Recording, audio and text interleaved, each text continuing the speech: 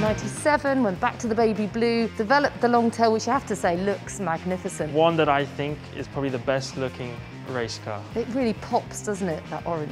Of course, the, the more baby blue, black mixture. Still based on the road car chassis. Trying to keep up with the likes of Mercedes and Porsche at the time, which had purpose-built race cars. So it wasn't as successful, but it still had some race wins. I find it really interesting that you're so taken with the way it looks, but it wasn't as successful. How much do aesthetics actually mean to you? It's everything. Really? Even Yeah. if it's not as good? If you look good and you're slow, you still look good.